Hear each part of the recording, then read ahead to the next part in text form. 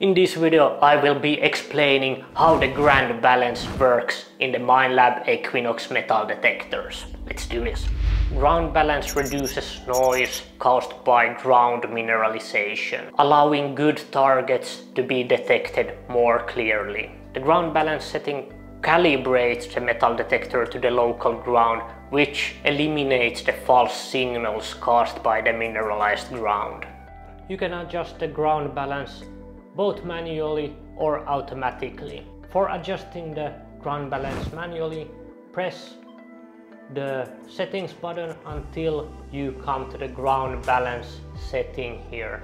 And then you raise and lower the coil on the ground up and down. Now I'm inside so it looks stupid but you would choose a patch of ground where there's no targets underneath and you would go up and down and choose the channel that makes less sound.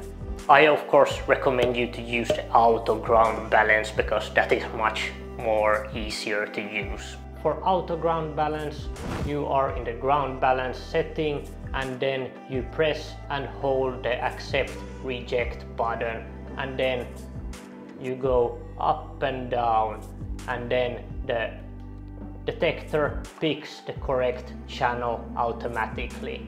And when the number doesn't change anymore, then you have the correct ground balance.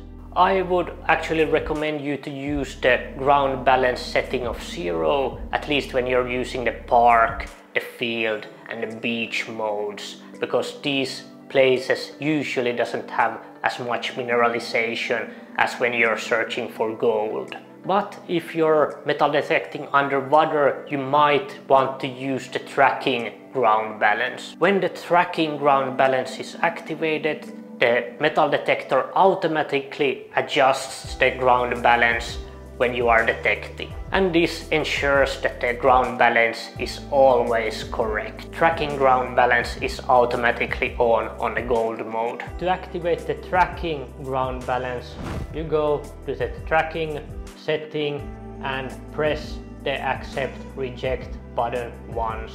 Then you see, will see this icon indicating that the tracking ground balance is on and then you can turn press the pinpoint button here and you're back to detecting and it tracks the ground balance automatically. To turn it off you go to the same setting, ground balance setting and press the accept reject button once then you're good to go. If you got any value out of this video, you should consider liking and subscribing and you should definitely watch my next video where I will be explaining the discrimination patterns of the Minelab Equinox machines.